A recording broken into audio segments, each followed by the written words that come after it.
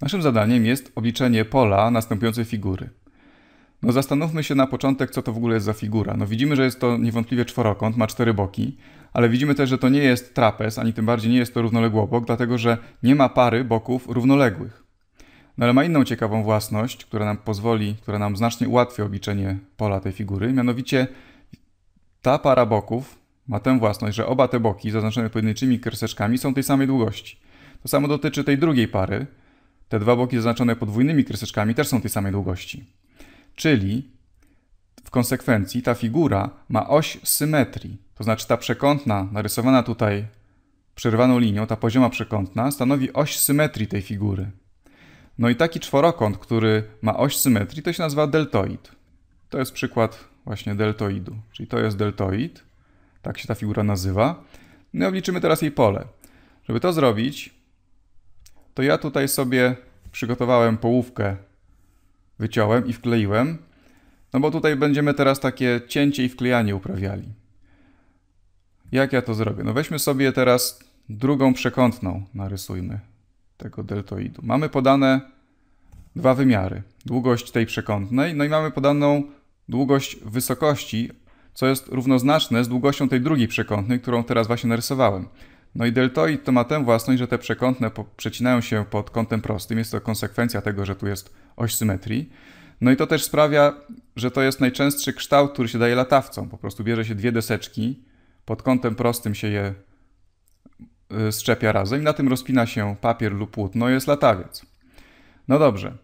No i teraz tutaj zaznaczę jeszcze inne odcinki kolorami, żeby pilnować. Powiedzmy, że ten odcinek zaznaczę sobie na pomarańczowo, a ten odcinek zaznaczę sobie na zielono. I teraz te trójkąty będę tutaj wycinał i wklejał. Zacznę od tego trójkącika, który tutaj zakreskuję na, na czerwono.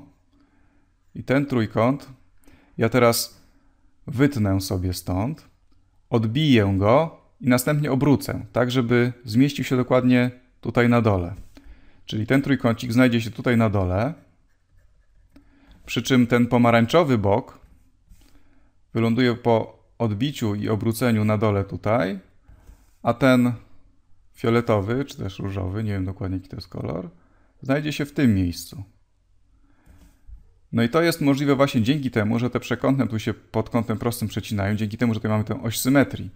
Właśnie dlatego tutaj wysokość tego dolnego trójkąta jest dokładnie taka sama, dlatego to tutaj pasuje. No i wezmę teraz ten drugi trójkąt, ten większy, który na niebiesko tutaj zakreskuję. Jego również odbiję, obrócę i przestawiam tutaj na dół. Wtedy on się znajdzie w tym miejscu.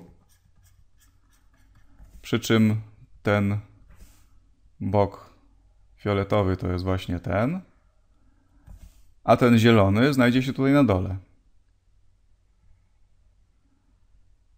No i widzimy, że w ten sposób uzyskaliśmy po prostu prostokąt. No i co to jest za prostokąt?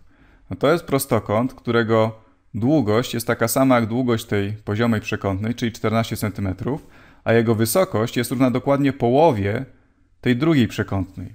Czyli to pole będzie równe po prostu 1 druga razy długość tej pionowej przekątnej, czyli razy 8 i razy długość tej poziomej przekątnej, czyli razy 14.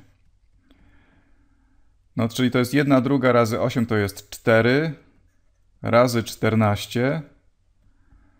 No a 4 razy 14 to jest 56. Czyli widzimy, że pole takiego deltoidu to jest po prostu 1 druga iloczynu długości jego przekątnych. Przy czym te przekątne przecinają się pod kątem prostym. Z tego tutaj skorzystaliśmy właśnie, żeby obliczyć to pole. No a na koniec jeszcze jedna mała uwaga.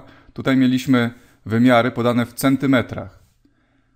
Czyli tutaj mamy 8 cm razy 14 cm, czyli wynik będzie w centymetrach kwadratowych. Centymetr razy centymetr to będzie 56 cm kwadratowych.